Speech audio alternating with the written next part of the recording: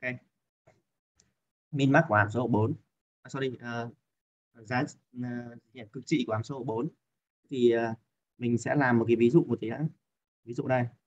Đó là tìm cực trị của các cái hàm số sau. Tìm nhanh em nhé. Thì a này à là hàm số y bằng fx bằng này x sinh mũ 3 x sinh mũ 3 trừ đi à, cộng với cả 4 x bình phương. 4 x bình phương. Đấy, trừ đi à, 9 nha. X cộng 1 đây y a y b này. Y bằng fx. Bằng x mũ 4 trừ đi 3 x bình phương, cộng với 2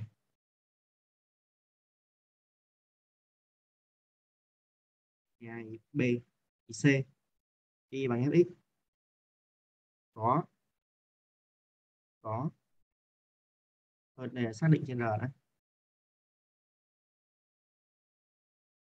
Có.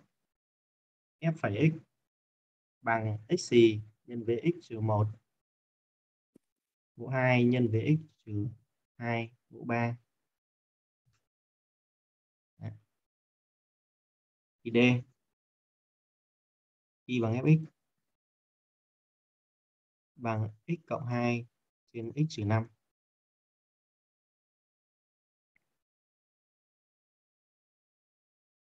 yeah.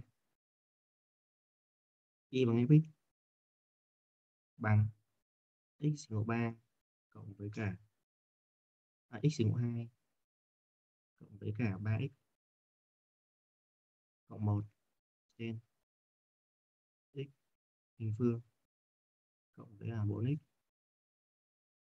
cộng 5 f y bằng fx với f phẩy x có đồ thị nha.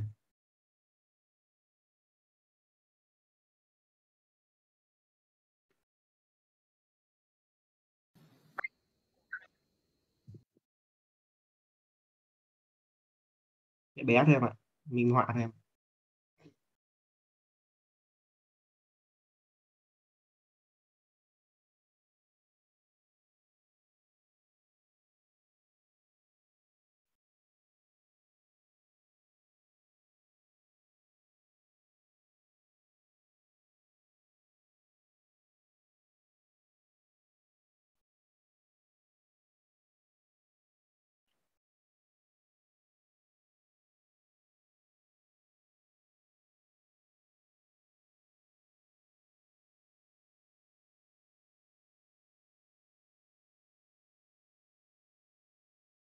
ok. Đấy, sáng sớm trắng miệng mà một ví dụ đấy.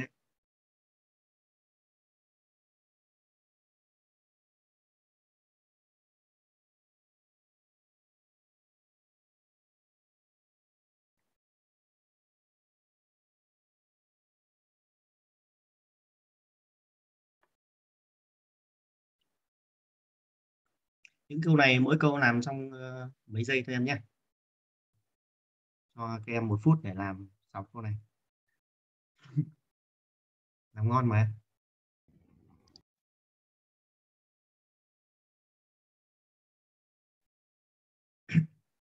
Có đạo hàm thằng này thì hơi mất thời gian một tí thôi. Nhưng mà mình cũng có cái công thức tính nhanh.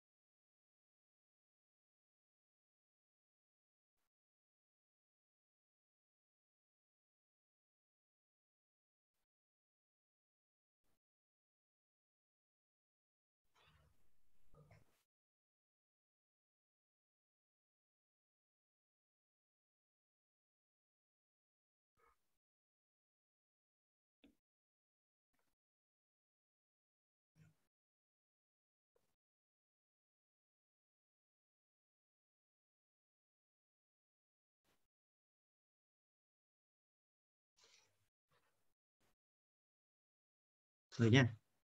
Mình làm với câu này nhá. LG này y phẩy này bằng 3x bình phương cộng với cả 6x trừ 9 này. Đấy, mình cho nó bằng 0 thì ở đây em có nghiệm A cộng B cộng C bằng 0 này nghiệm x bằng 1 này x bằng C trên A là x bằng âm 3 như vậy là có mấy cực trị đây? Hai cực trị em nhỉ rồi cái này dễ rồi. Ừ, thì đây là cái đồ thị của nó sẽ là hoàn toàn là ngoằn đi lên đi xuống đi lên như này. Bởi vì a lớn không nhá. A một lớn không này. Kinh nghiệm âm 3 ở đây. Đây là cực đại nhé. Đây là cực tiểu. Xong. Tiếp thì tiếp tục là ý b. Anh ơi ý a em tưởng đạo hàm nó phải là 7 mình cộng 8 x chưa? Ơi ơ trên đời 8 à? 8 như anh. 8 8 8 8 hai nghiệm nhá. Vẫn là có hai nghiệm em ạ. X1 x2 AC cháy dấu em nhé. AC cháy dấu. Tiếp theo này ý B nhé. Không cần phải giải ra nghiệm bao nhiêu đâu em ạ. Thực ra giải thì bấm ờ, phương trình bậc hai ra thì nó cũng ra nghiệm số. Em để ý AC cháy dấu hai cực trị tiếp theo này bạn này này đạo hàm y phẩy này bằng này uh, 4x sinh mũ 3 trừ đi ờ, 6x xì này nó bằng 0 Đấy, AC này cũng cháy dấu AB cháy dấu rồi này có ba cực trị em nhé.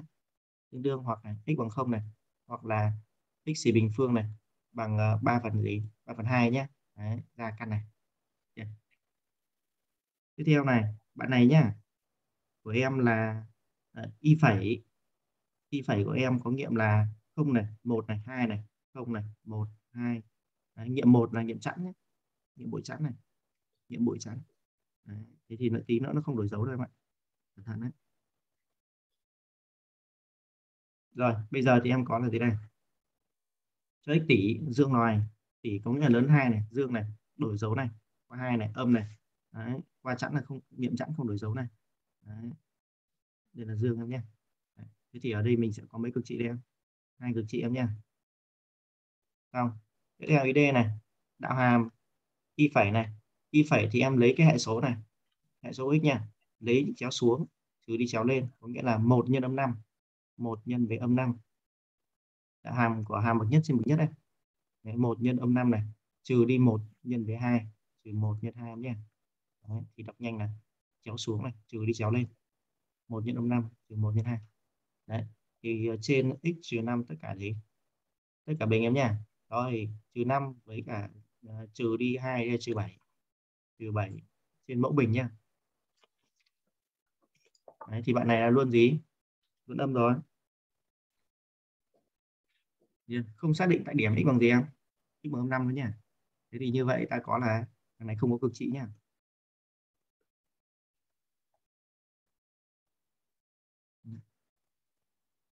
tiếp theo đạo nhanh này. Đạo nhanh của bạn này nhé đó là y phẩy đạo nhanh y phẩy này.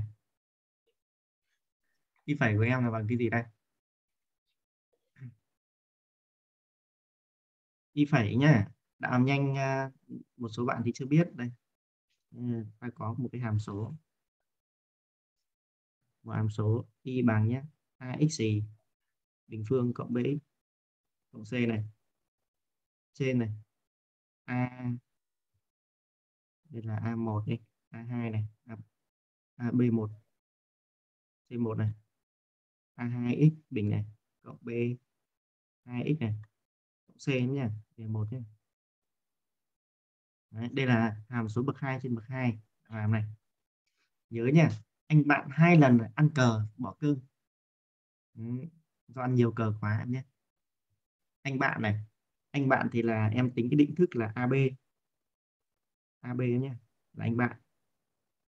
A1 B1 A2 B2 Đấy. nhân với x bình tính định thức thì em chỉ cần lấy chéo xuống trừ đi chéo lên thôi nhé. Anh bạn này hai lần ăn cờ nhá cộng với cả hai lần này. Ăn cờ là ăn cờ là AC mà. Thì A1 C1 A2 C2 Đấy, nhân với x.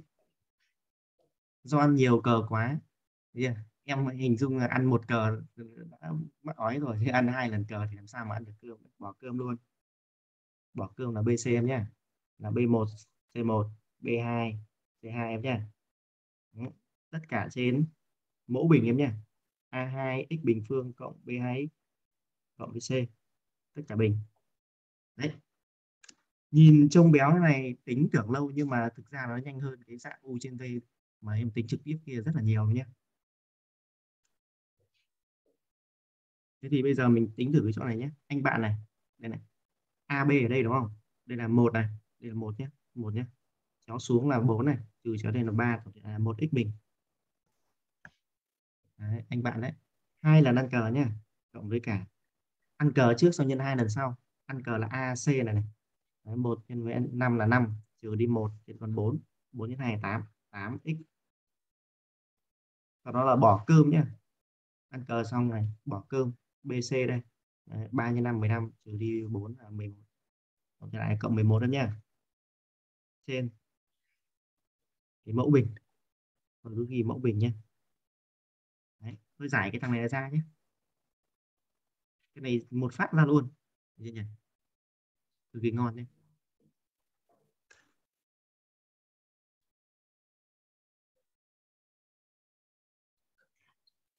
Bạn này hai nghiệm phân biệt là xấu loài. Được nhỉ? Rồi tiếp theo. Người ta cho cái đồ thị như này y bằng fx với đồ thị à, f phẩy có đồ thị như này nhá. Ok thế thì bây giờ em có đồ thị f phẩy như thế. Thế thì người ta chỉ cần tìm các nghiệm bội lẻ thì nó đổi dấu thì suy cực trị luôn đấy nhá. Thì nghiệm bội lẻ là những cái nghiệm cắt. Một cực trị này hai cực trị này ba cực trị này bốn cực trị năm cực trị năm cực trị em nhá. Đấy thì ở đây là x1 này x2 này đấy, x3 này x4 này x5 này x6 nhé. Thì em có là f phẩy của x này bằng 0 thì có nghĩa là mình sẽ lòi ra được 6 cái nghiệm. X1 x2 x3 x4 x5 và x6 nhưng mà đây là nghĩa bội lẻ này. Còn x bằng ờ, uh, x6 thì là nghĩa bội chẵn. Đấy, thì từ đó suy ra 5 cực trị nha số nghiệm cắt thì bằng dấu cực trị còn chỗ nào tiếp xúc thì nó không đổi dấu nhé thì đây nó cũng giống như là mình xét dấu của f phẩy thôi. Đây này dấu f phẩy này từ âm này sang dương này. Âm này sang dương này. Âm này sang dương này. Dương này vẫn là sang dương em nhé. Thế thì tại cái thằng x6 này này đấy, dấu của f phẩy thì nó vẫn là từ dương sang dương thì làm sao mà nó đổi dấu được? Không đổi dấu thì không là cực trị. Nhé. Đấy, xong.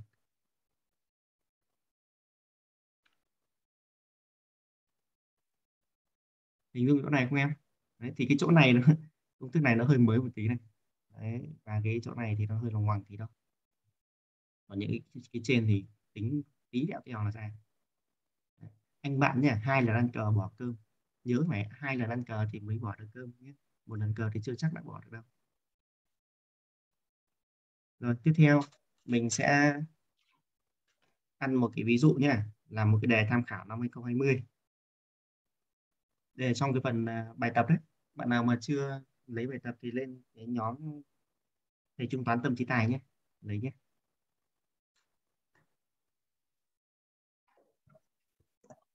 Đây, em nhìn này.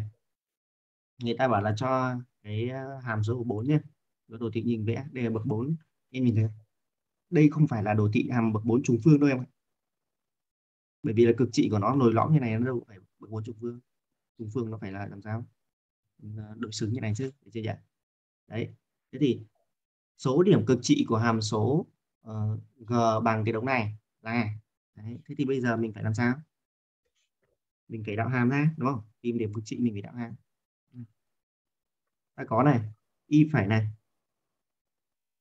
Y phải nhé bằng này. Đạo hàm bên trong trước 3x cộng với à, 3 3 x mũ 3 cộng với à, 3x bình phương thì là 3x bình phương này cộng với cả 6x này. Nhân f phẩy của x mũ 3 cộng 3x bình phương. Mình cứ tìm tìm được cái nhiệm bội gì? Tìm được nhiệm bội lẻ là được cái này. Không cho nó bằng không đi. tương đương. Ở đây này hoặc này cái đống này bằng không nha. Tính ra luôn này x bằng 0, x bằng âm 2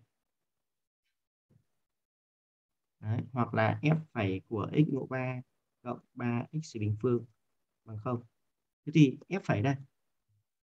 Đồ thị f phẩy đây.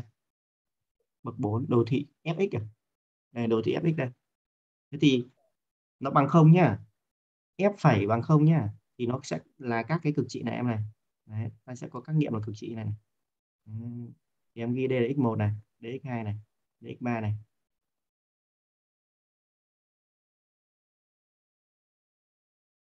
Cực trị mà.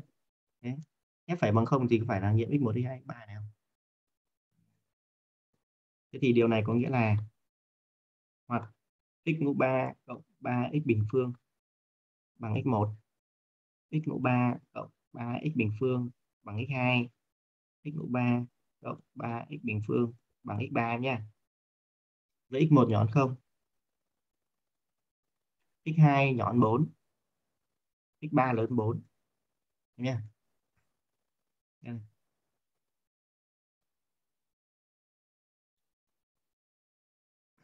Thực ra mình có thể cho thêm điều kiện nữa là x1 nhỏ hơn 0 này, x2 là lớn hơn 0 nhỏ hơn 4 này, x3 lớn lớn 4. Thôi, mình cứ để như này cũng được. À ở đây là em có hai nghiệm là không với cả âm hai rồi. Bây giờ những cái bạn này là có bao nhiêu nghiệm nữa? Yeah. thì, thì bây giờ mình sẽ sử dụng cái phương pháp là uh, cô lập tham số và căng dây thôi. Đây mình có cô lập cái thằng x1 x2 x3 rồi bây giờ mình căng dây.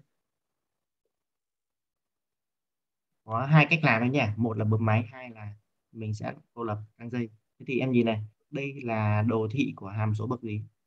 Bậc 3 nhé. Đây là đồ thị hàm số bậc 3 này. Mình xét hàm số. Xét hàm số nhé. Y bằng x mũ 3 này, cộng 3x bình phương nhé thì ta có y phải bằng làm thằng này 3x bình phương cộng với cả 6x cho nó bằng 0 thì có hai nghiệm x bằng 0 và x bằng 2 âm 2 rồi nhá. Không cần phải lập bảng biến thiên bởi vì là cái đồ thị của hàm bậc 3 thì em quá là thạo rồi. Thế thì nó sẽ có hình dáng đồ thị là đi lên đi xuống đi lên như này. Bởi vì a bằng 1 lớn hơn 0, hai cực trị thì nó sẽ là khoảng to lòng ngoằn như này nhé 2x bằng 0 vào này. 2x bằng 0 ở đây thì nó bằng 0 nhá 2x bằng âm 2 nhá. Âm 2 thì ở đây thì là bằng à, à, 8 này. Âm 8 này. Đấy, âm 2 thì ở đây là cộng với cả 12 này. Tổng chia là 4 đấy nhá. Rồi em hiểu là cái đồ thị này của em này. Đồ thị này của em nhé Đấy, sẽ cắt cái điểm à, cắt cái đường thẳng x1 đấy nhé. Y bằng x1 thì thôi đường thẳng y bằng x1 thì y bằng một hàng số là đường nằm ngang nhé. Đấy, đường này nhỏ hơn không? Đấy, đây là x1 này. Tiếp theo y bằng x2 này.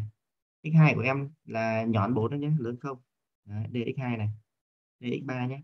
X3 lớn 4 này. Đấy. thế thì ở đây nó sẽ cắt một điểm này. Một điểm hai điểm ba điểm này. Đấy, một điểm nữa. Cái tổng thiệt hại là em sẽ có 5 năm nghiệm nha. Năm nghiệm này là khác không và khác âm hai luôn. Nên tổng thiệt hại là mình sẽ có 7 cực trị. Là đáp án của em sau. Đây là cách thứ nhất. Cách thứ hai em sử dụng máy tính nhé.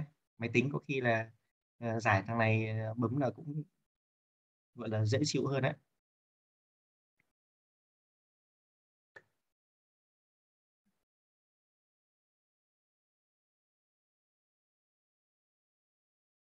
Đây.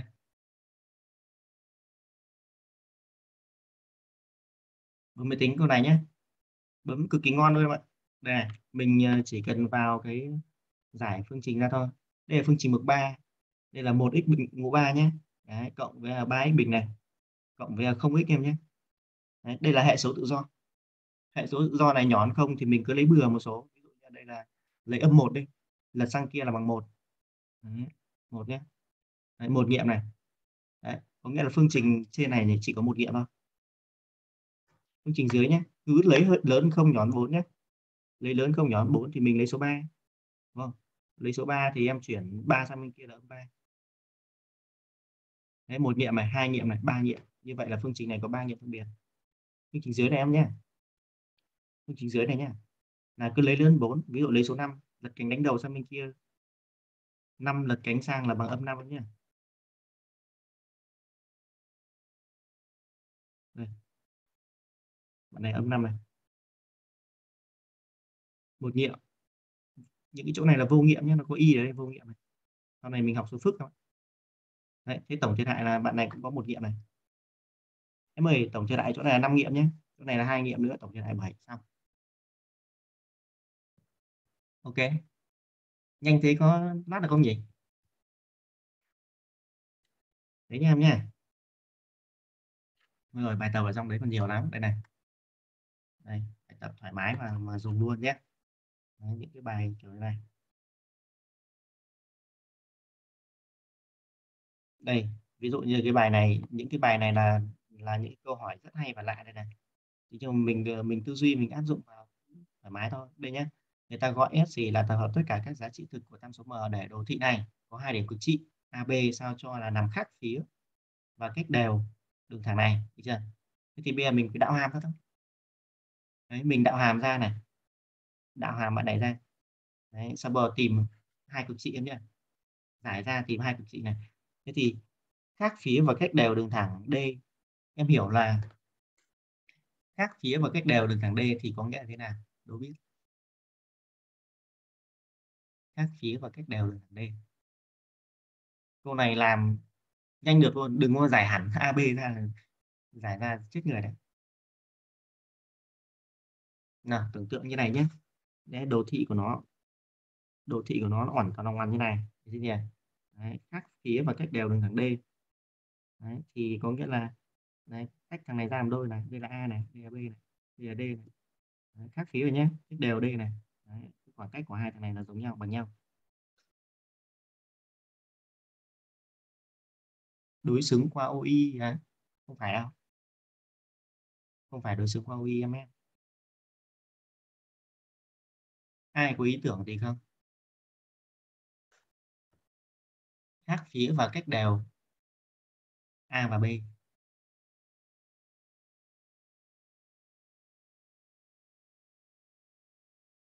Đây là đề tham khảo năm 2017 em nhé. Năm 2017 thì năm đầu tiên năm đầu tiên thi trắc nghiệm ấy. và đề năm 2017 thì được đánh giá là đề dễ. Còn đề tham khảo của nó thì tất nhiên là nó có cái câu dễ câu khó. Còn file này là cái file vận dụng vận dụng cao thì có là cái câu khó rồi. Đây nhưng mà nó chỉ có một mấu chốt thôi. Mời khác phía nhé. Thì tách thằng AB này ra làm đôi. Tuy nhiên cách đều nhé. Thì nó đi qua trung điểm của AB em ạ. Đấy, nối cái đường thẳng này đi qua trung điểm của AB đây là Y. Đấy, thế các em ạ. Đi qua trung điểm thì tọa độ của y nhé. Tọa độ của y này thì bằng tọa độ của A cộng tọa độ của B chia 2. Đấy, XA cộng XB chia 2. Thì XA cộng XB thì mình sẽ xác định được theo cái gì không? Theo cái gì đây? Theo cái VS em nhé. Đạo hàm thằng này ra. Đấy, VS. Được chưa nhỉ? Đấy, Y1 cộng Y2, IA cộng IB chia cho 2. Đấy, cũng theo VS hết. Nha. Ok. Đấy, câu kiểu thế. Đây này hay là cực trị nằm về hai phía, của trục hoành thì có nghĩa là hai nghiệm à, à, hai nghiệm này có hai y trái dấu đâu. Hay là, nhưng mà nếu mà làm theo kiểu đấy thì nếu mà nếu mà không ra nghiệm đẹp. Nào, ví dụ câu 30 đấy nhé. Có bao nhiêu giá trị nguyên của tam số m để à, đồ thị hàm số này có hai điểm cực trị nằm về hai phía của trục hoành? Cách một nhé. Cách một này là mình cho là y cực đại nhân với cái y cực tiểu nằm với hai phía trục hoành mà, thì luôn nhỏ hơn không. Ok, đây là cách một.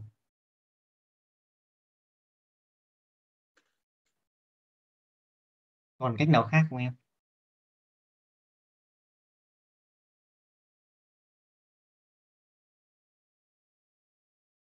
Ừ, đây, cách hai, đó là tìm ra nghiệm đẹp.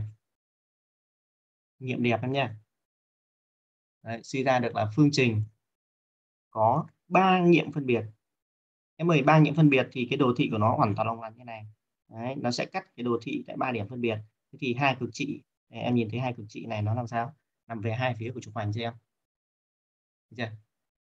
nào ở câu 30 này nhé. Cách 1 thì làm dài kinh khủng khiếp nhưng mà cách hai ra nghiệm đẹp cực kỳ ngon. Nghiệm đẹp của câu 30 là x bằng mấy? bạn nào thấy comment vào đây xem nào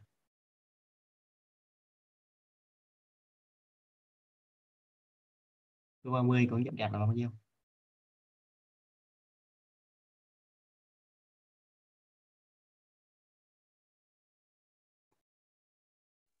x bằng 1 ạ. Ok đúng rồi, nhiễm x bằng 1 đấy. Đúng rồi các em. Đấy nhiễm x bằng 1 thêm nhé. Thế có phải tách ra thành thành ờ, bậc 1 này. X trừ 1 thêm nhân với bậc hai không? Đấy, thế thì để có ba nghiệm phân biệt thì là cái cái phương trình bậc hai này của em là có hai nghiệm phân biệt khác một. Có hiểu không? Nhá. Yeah. Thế là suy ra là có ba cực trị. À, C có có hai cực trị nằm về hai phía của trục hoành. Đấy, em một số cái câu rất là hay. Đấy, nhiều câu hay lắm em ạ. Đừng bỏ lỡ cái file này nhé em nhé. Đấy, cực kỳ hay, nhiều lắm. Nhưng mà thôi không thể nào mà chữa hết được. Đây này, năm 2017 đây này, hôm, hôm, ờ, trước thì đã bảo này là người ta hỏi cực trị ờ, tạo thành ừ, một tam giác vuông cân này, đấy, tam giác đều rồi tam giác có giá trị bao nhiêu này. Đấy. Thế thì người ta chỉ thi mỗi cái năm này thôi em ạ, bởi vì nó biến thành công thức rồi. Đấy, đứa nào nhớ công thức thì đứa đấy ăn, thế nên là người ta sẽ không thi những cái câu kiểu như này nữa. Nhé. Nó chỉ thi một lần những cái câu có công thức như này thôi nhé. Rồi thì mấy câu bây giờ chủ yếu người ta thi những câu kiểu này. Đấy, số cực trị của cái thằng y bằng f này. Ừ, thì mình đạo hàm ra thôi, giống như câu vừa rồi. Đấy, căng dây phát là sao? Đấy, định thế đây. Thế nhé em nhé. Rồi, tiếp theo. Hôm nay mình sang cái phần uh, ba năm mã. ba năm mã. Đó là min mắc của hàm số em nhé.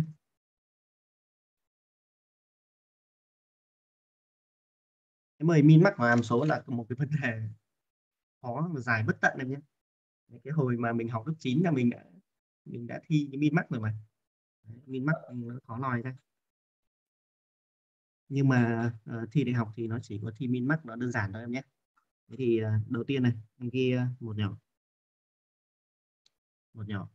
Đó là phương pháp một luôn em nhé. Đó là sử dụng cái uh, bất đẳng thức Cauchy. Bất đẳng thức cosi nhé cosi của em thì à, có cosi cho hai số cosi cho ba số và cosi cho n số em nhé. Có cosi ngược cosi xuôi. Nào, em ghi đây. Là đầu tiên là người ta cho cho AB cho A. Cho A, B là không âm nhé không âm thì nó là lớn hơn hoặc bằng không. Được chưa nhỉ? Thì ta có là A cộng B. Thì luôn lớn bằng 2 2 căn AB cái bất đẳng thức Cauchy này ấy, thì bên Tây ấy, thì người ta sử dụng gọi là bất đẳng thức trung bình cộng trung bình nhân em nhé. Hay là người ta gọi là bất đẳng thức AMGM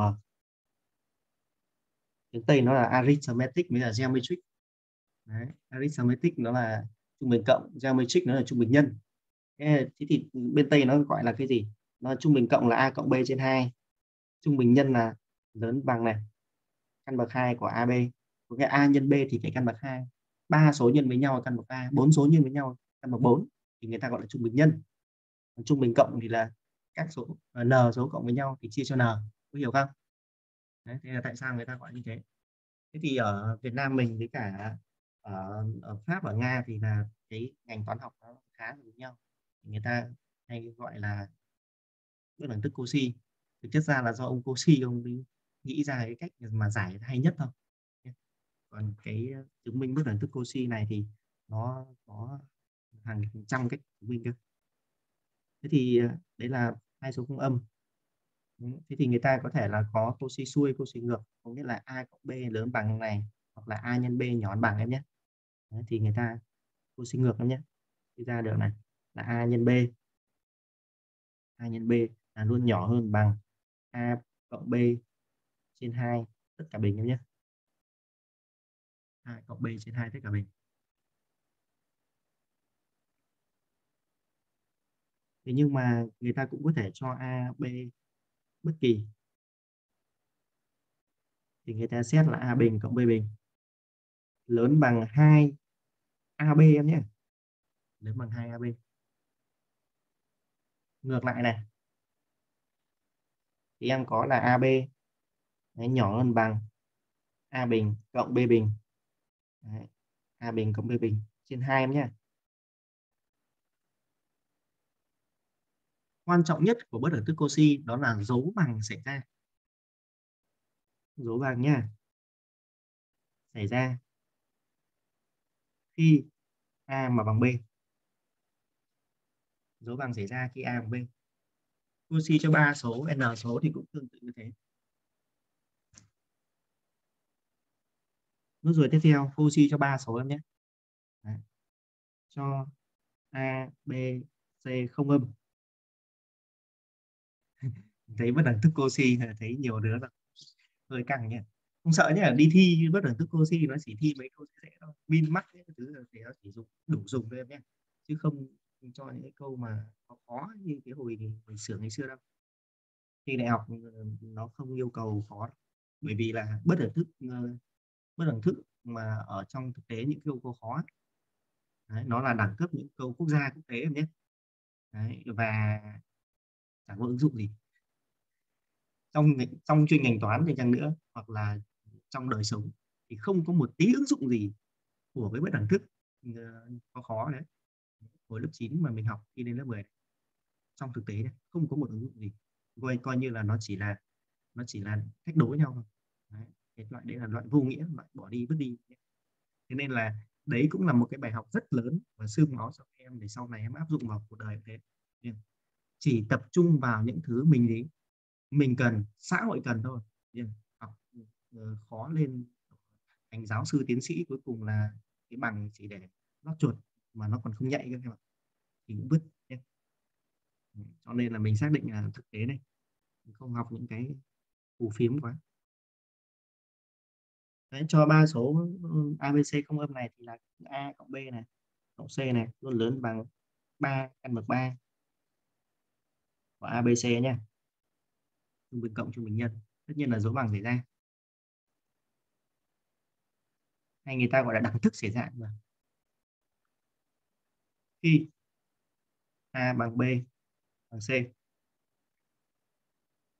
Thôi cô xin cho n số thế nha em nhé. Ghi ba số là đủ rồi. Bao giờ người ta cho n số.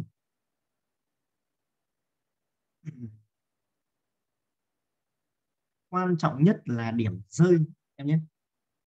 Điểm rơi là cái điểm cực kỳ quan trọng. Có nghĩa là đây là a bằng b bằng c như này này. Thế thì bây giờ em ghi cho thầy giáo ví dụ ví dụ một. Ví dụ một nhé.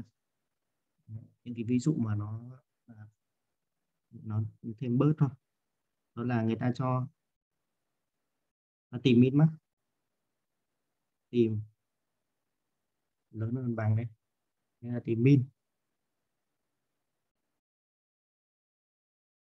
Của các cái biểu thức sau. Ý A là dành cho những bạn là nai tư ngơ ngác. T1 bằng.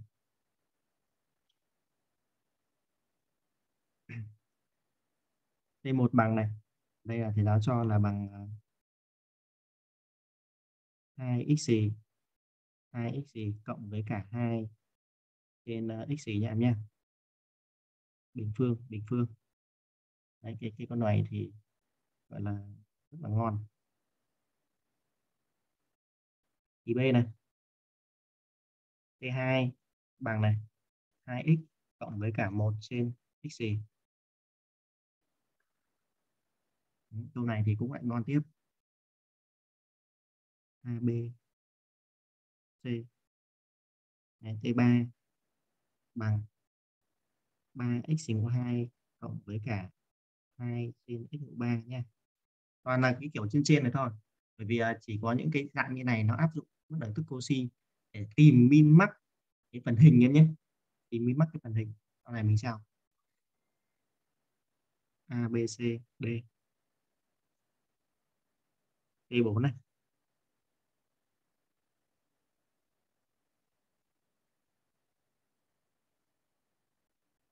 ở đây nhầm nhầm đây là x bình nhé chứ còn ờ, x nữa thì giống hàng ngày đi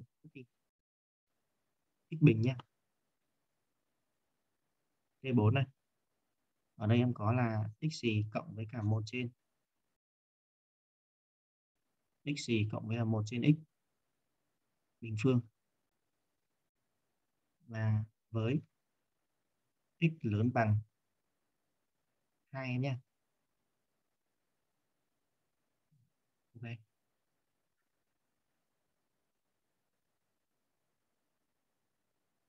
chỉ thấy những cái câu đơn giản anh nhé.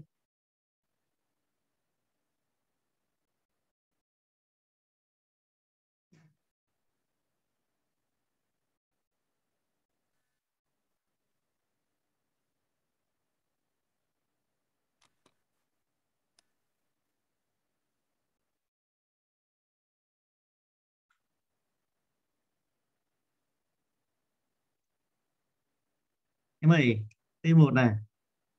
T1 này em áp dụng bất đẳng tích Cauchy luôn này. Đó, T1 bằng này 2 x bình phương cộng với cả 2 trên x bình phương này. Thì luôn lớn bằng này.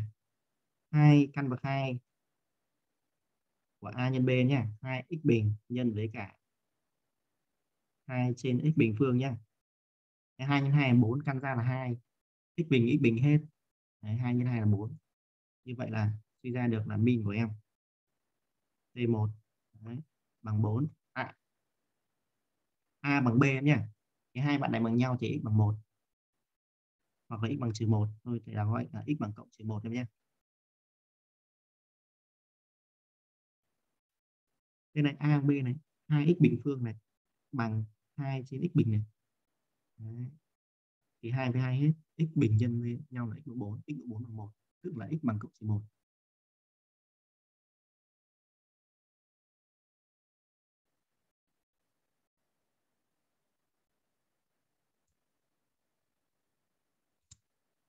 thế thì chú ý một tí.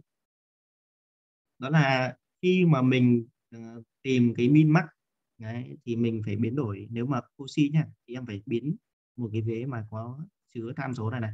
Một à, sorry một cái vế mà chứa cái cái, cái biến này này. Đấy, thì mình phải sẽ phải đổi làm sao cho vế đang chứa biến thành một cái hàng số nha em nhé. Đấy, có nghĩa là một bên nó phải làm gì? Thành hàng số nhé thì đệm thế này đến phải biến thành hàng số. À, biến thành hàng số này thì em có là t2 này của em bằng này. Em hiểu ở dưới mẫu này là có x bình phương tức là hai thằng x. Đấy thì ở trên tử này cũng phải xuất hiện hai thằng x thì mới được. Thế thì tử với mẫu nó mới triệt tiêu được nhau. Thế thì ở đây có hai x nhé.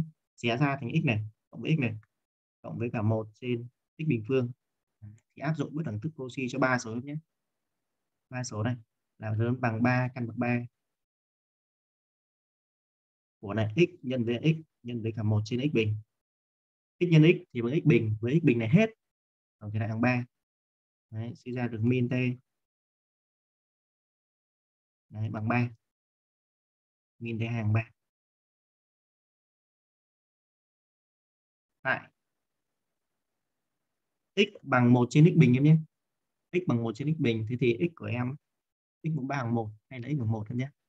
Thì nhập nhanh một tí nhé. Đây này x bằng x này bằng 1 trên x bình. Thì x mũ 3 bằng 1 tức là x bằng 1 Đấy, dấu bằng. Em phải chỉ ra được, dấu bằng ấy nhé.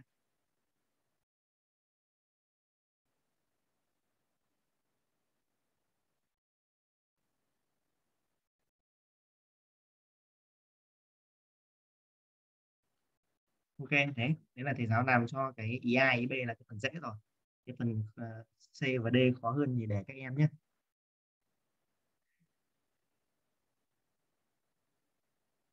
C, min của nó là ra bao nhiêu? Min ra bao nhiêu đây? Ở đây có x bình, ở đây x mũ 3 là sao triệt tiêu nhau được?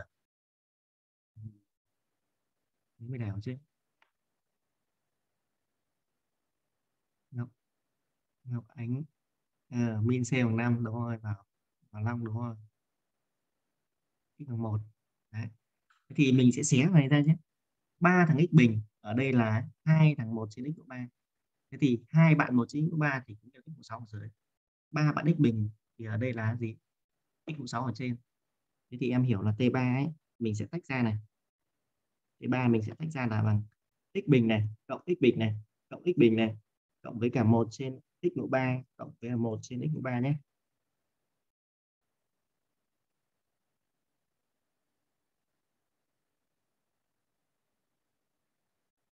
Cauchy cho bạn năm số nhé, lớn bằng này, 5 căn bậc lý căn bậc 5. 5 căn bậc 5 của x bình nhân x bình nhân x bình nhân 1 trên x mũ 3 nhân 1 trên x mũ 3 bằng này em ơi x bình nhân x bình nhân x bình là x mũ 6 trên tử x mũ 3 nhân x mũ 3 là x mũ 6 rồi mẫu triệt tiêu nhau hết. Yeah. còn lại 5 thôi. Như vậy là min bằng gì?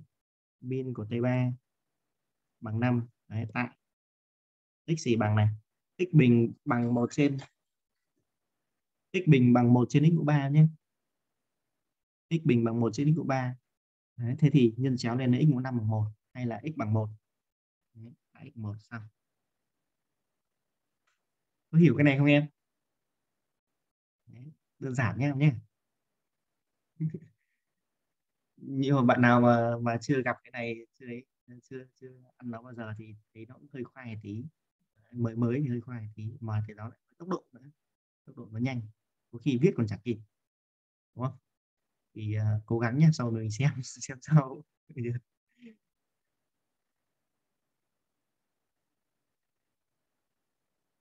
Câu C này em chỉ cần nhớ cho thầy giáo hai cái bài toán đầu là em đủ dùng luôn. Đủ dùng tìm min max của của hình học không gian luôn, em nhé. Đấy.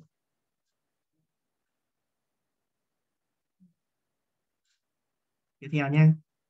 Id này. Chứ đó id đang làm lại quên mất cách làm. Ở đây có x này, ở đây có x bình này. Rồi. Có x này, có x bình giống cái này thôi đúng không? Thì mình làm sao triệt tiêu đi còn mỗi x thôi. Để em tự làm xem tìm cho đéo min của thằng này bằng bao nhiêu nhé em nhé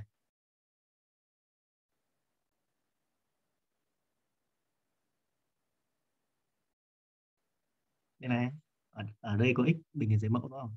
Đây x trên tử.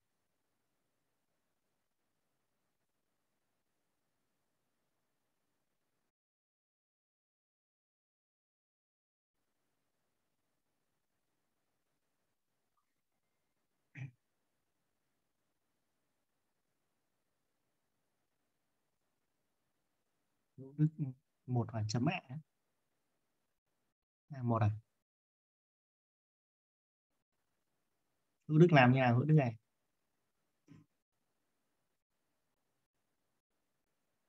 Đây 4 này bằng này.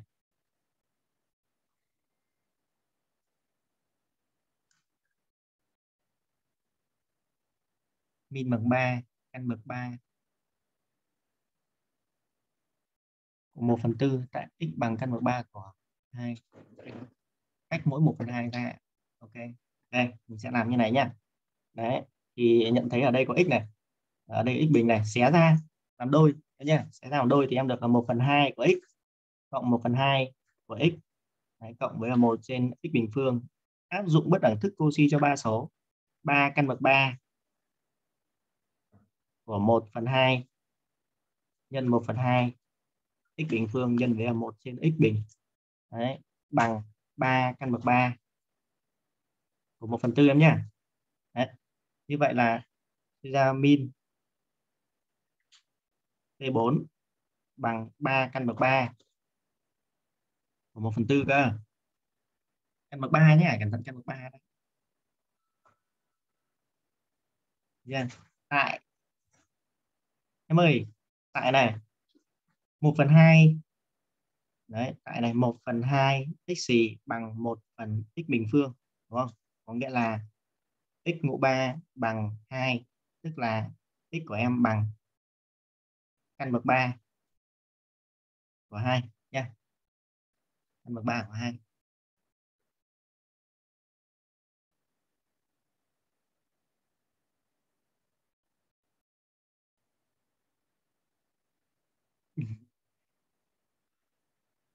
Ngọc Ánh là không được nói với ai đâu nhé. Thế điều kiện x lớn hơn hai x lớn hơn rồi. Còn đấy. Điều kiện điều kiện em ơi.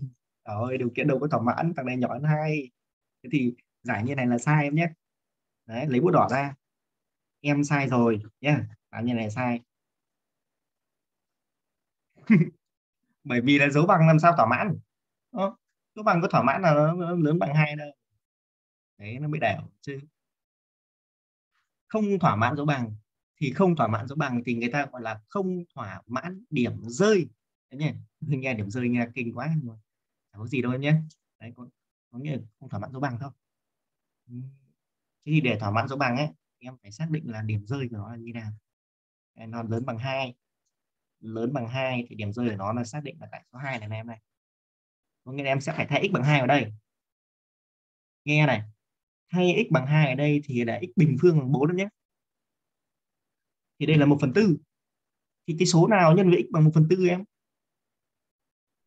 Số nào nhân x bằng 1 phần tư? Em hiểu nhé. Nghe này 1 trên x bình này, thì bây giờ là bằng 1 phần tư. Thì bằng bao nhiêu lần nhân với x? Được chưa? Bao nhiêu lần nhân với x? Em hiểu là một số nào đấy nhân với hai thì ra một phần tư tức là một phần mấy em? Tức là một phần mấy? Một phần tám em nhé. Đấy một phần tám x. Được chưa? Thế thì em sẽ phải suy ra được cho thầy giáo là t4 này thì bằng này. 7 phần 8 x gì cộng với là 1 phần 8 x. Đấy, cộng với cả một trên x bình phương. Thì em cô si cho hai thằng này thôi. Đấy thì nó mới thỏa mãn điểm rơi cơ. Đấy, nguy hiểm không? Tóm lại nhé em phải phải cho hai bạn này nó phải là bằng nhau. Thì nối dấu bằng nó mới xảy ra. Được chưa? Bằng nhau thì em hiểu là em thay x bằng hai ở đây. Em thích bằng hai ở đây thì nó ra một phần tư. Em thích bằng hai ở đây thì nó cũng phải ra một phần tư. Hai bạn này nó mới giống nhau được. Nhé Đấy, si này. Lớn bằng này. 7 phần 8 vẫn x vẫn giữ nguyên em nhé vẫn giữ nguyên. Cộng với cả cộng với cả cosi cho hai số này thôi là hai căn bậc hai. 2 căn bậc 2 của 1 phần 8 x gì Đấy, cộng với cả 1 trên x bình phương nhá. À, nhân với cái đó Thế mới đau chỉ cao chứ. Hai lần chứ. Ừ, nhầm nhầm nhầm nhầm. Đấy nhá. Phải thêm thêm. Hai cái bạn một phần tám này. Thì nó mới mất mất x bình. Quên. Yeah. 1 phần 8 nhé đây là trở thành 1 phần 8 này. Đấy. Trở lại tí em nhé. Thế nên nó mất x bình ở dưới mà. Thế thì ở đây thành 1 phần 4 rồi. Cộng với cả 3 phần 4 nữa em nhé. X gì? Đấy. sửa sửa. Đây nhé x này x này. Đấy, hai thằng x ở trên này. Mới triệt tiêu x ở dưới em nhé. Đấy. thì cô suy cho ba số không phải hai số em ạ. Lớn bằng này. 3 căn bậc 3 và 1 phần 8 x xì nhân với 1 phần 8 x xì nhân với 1 trên x bình phương cộng với cả 3 phần 4 của x cái này không động đến em nhé. Đấy, thì bạn này bằng này. 3 nhân đây đúng không? Đấy, căn bậc 3 của 8 là 2 thì là 2 3 phần 4 em nhé. 3 phần 4 cộng với cả 3 phần 4 của x. Em ơi do x lớn hơn hoặc bằng 2 Đấy, thì từ đó sẽ ra là bạn này luôn lớn bằng. Hai thay ở đây nhé hai, ba là 6 6 cộng với 3 là 9 9 phần 4 đây này x này luôn lớn bằng 2 này. đây này. Thì có phải là bạn này luôn lớn bằng 2 không? Thay 2 ở đây. 2 3 là 6 6 phần 4 cộng với 3 phần 4 là 9 phần 4 đấy, nó phải ờ, thỏa mãn dấu bằng cơ. Người ta gọi là tìm điểm rơi em nhé cẩn đấy. Rồi đi đây. Sang cái phần tiếp theo, đó là hai nhỏ. Nhiều lắm em ạ. Bất thường thức thì nhiều lắm. Thì thì nó chỉ có cho mấy cái loại mà mình hay gặp đó là miền giá trị em nhé.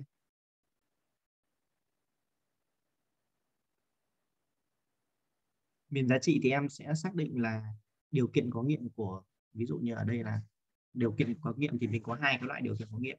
Điều kiện có nghiệm thứ nhất là điều kiện có nghiệm của cái phương trình a sin b cos điều kiện thứ hai là điều kiện có nghiệm của phương trình bậc hai, em nhé. Thì em ghi cho thầy giáo là chỉ có hai cái loại miền giá trị thôi. Đó là điều kiện có nghiệm của bậc hai nhá. Phương trình bậc hai. Phương trình bậc hai. Điều kiện có nghiệm của phương trình bậc hai. Phương trình bậc hai của em thì có delta của em là luôn lớn hơn hoặc bằng không đấy nhỉ có nghiệm thôi. Tiếp theo là điều kiện có nghiệm của phương trình. A sin x cộng b cos x cộng c đấy, bằng không. Đó là a bình cộng b bình. Lớn bằng c bình em nhé. A bình cộng b bình lớn bằng c bình. Đấy. Đấy là cái miền giá trị thì bây giờ thì cho ví dụ luôn. Tốc độ tí nhé là mỗi nốt ví dụ này cho mình nghỉ sớm đó. Ví dụ số mấy đây? Số hai.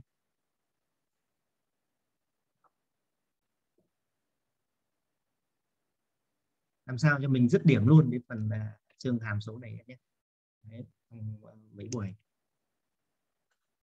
À đúng rồi. Thông báo với các em là uh, tuần này những bạn nào học hóa thì thôi chưa học nha em nhé. Để sang năm mới mình học cho nó cho nó liền mạch. Đấy, không thì ờ, thứ bảy tuần sau thì mình sẽ thứ bảy tuần sau thì mình sẽ nghỉ tết rồi. Nghỉ tết uh, dương lịch ấy. thì là không học được.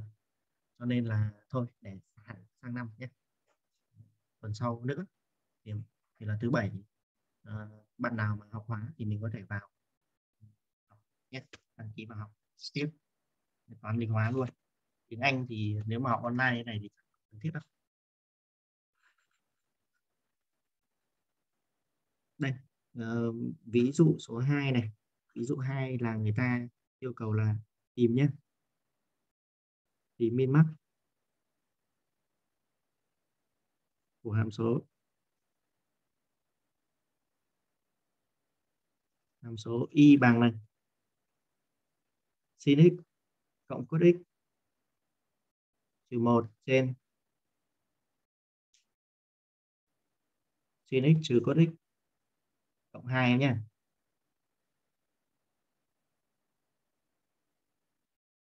Tìm min max của hàm số này.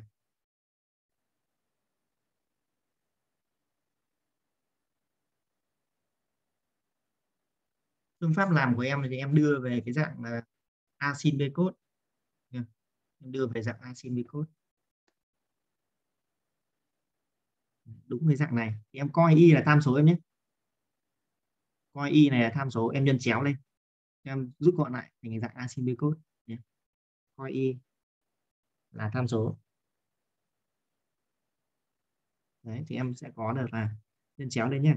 Y sin trừ y cos cộng 2y bằng sin x cộng với cos x trừ một em nhé. Nhưng mà đây đâu có phải là asin với cos đâu. Thì em phải làm sao?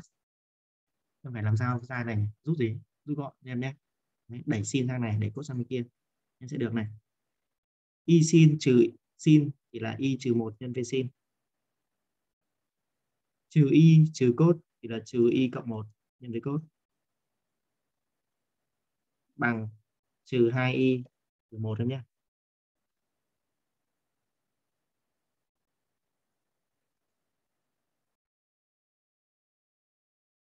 Thì em hiểu đây là A rồi này. Đây là B này. Còn đây là gì? Đây là C em nhé. Đấy. Điều kiện có nghiệm của phương trình A sin cộng B cos bằng C Đấy, là A bình cộng B bình lớn bằng C bình em nhé em ơi câu này là một câu mà ở trong cái đề đánh giá ờ, một câu tư duy nhé một câu để trong đề gọi là kiểm tra tư duy của đại học bách khoa đấy.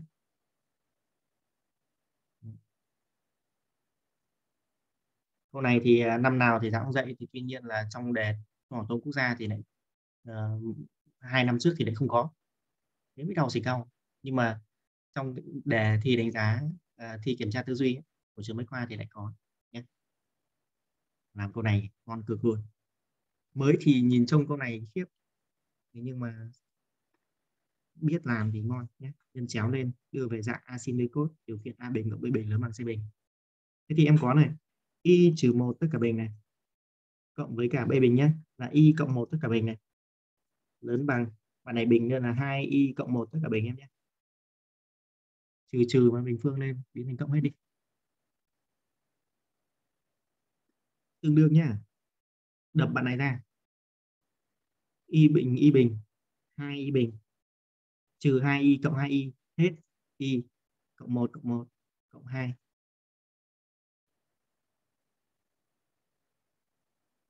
Phước Thiện à, cho nghỉ sớm đến trường tiêm mà. Ok nhé. Nốt câu này thôi. Lớn bằng này. Ô lớp 12 đang nhẽ phải tiêm trước bọn lớp 11 chứ nhỉ? Lớn bằng này. 4 y bình phương này cộng với cả 4 y nhé một này. Đấy, tương đương này. Lật cánh đánh đầu sang bên kia nhé hai này chuyển sang bên kia. Đấy là 2 y bình. Đấy, cộng với 4 y.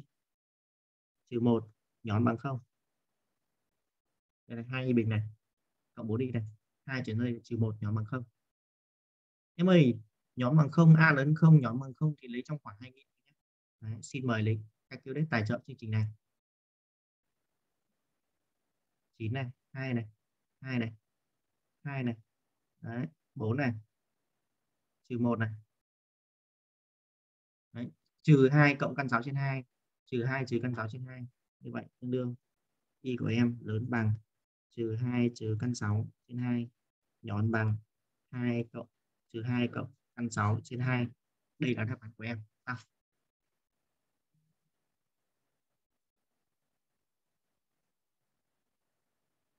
Đấy, cái dạng này em chỉ cần coi tham số này nhân chéo lên này đưa về dạng asymptotic này. Điều kiện a bình cộng b bình lớn bằng c bình. Đấy, sẽ tìm ra được y. Đấy nhé. Xong nhé. Thôi thì hôm nay chúng ta nghỉ ở đây. Nghỉ sớm đấy nhé. Bởi vì là còn nhiều dạng nữa lắm mấy cái dạng nữa nhưng mà chủ yếu là mình sẽ là xét hàm nhé mình sẽ có cái dạng xét hàm nữa thôi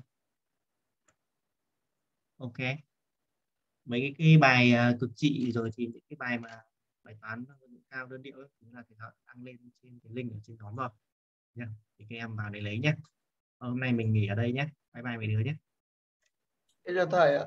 À, Thầy, này. thầy, Thầy, thầy ạ. Chào thầy. Thầy, Rồi, thầy. Chào anh. Chào thầy. Bây giờ thầy. Em chào anh. chị Linh. bye nhé Chị Linh ơi. ánh lên đi học không ánh Ôi. Hôm nay à anh? Hôm nay ờ, mấy giờ ạ? anh mấy giờ nhỉ Hôm nay thứ năm. mấy giờ em toàn cao su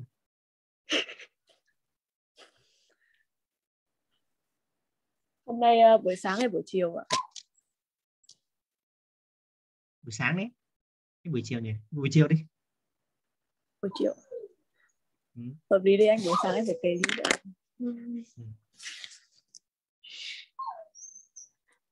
Anh chốt giờ đi. thôi cứ đến lúc nào đến 3 giờ nhé Hôm nay, vâng, ok anh. Ừ. Bye chị. Bye anh. Bye bye anh. Vâng. Em chào anh. ơi Em chào anh. Ừ. Tức là em chào mấy anh. anh